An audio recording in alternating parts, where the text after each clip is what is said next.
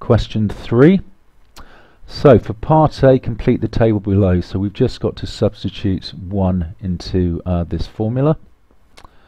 So we're saying 5 to the power of 1 plus log to the base 2, 1 plus 1. Well, log 2 to the base 2 is 1. So we've basically got 5 to the power of 1, which is 5, plus 1 equaling 6.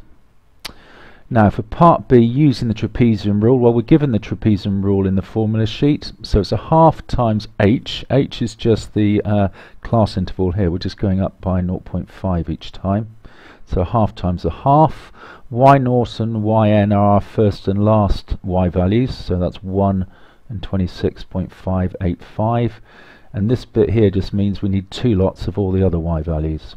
So here we are, so we've got our half times a half, times the one lot of the first and the last plus two lots of these three values here. Pop that all into your calculator you get this which rounds to 17.56 to two decimal places. Now for part C you've just got to sort of picture what's going on here. This part here is exactly the curve that we've dealt with above this bit here. However we're adding 5 onto it so the whole curve is just shifting up 5 so try and imagine as it shifts up, it's creating a rectangle underneath it, which has got a height of 5 and a width of 2. Or, okay, the values that we're covering are a width of 2. So if you've got a height of 5 and a width of 2, well that's an extra space of an extra area of 10.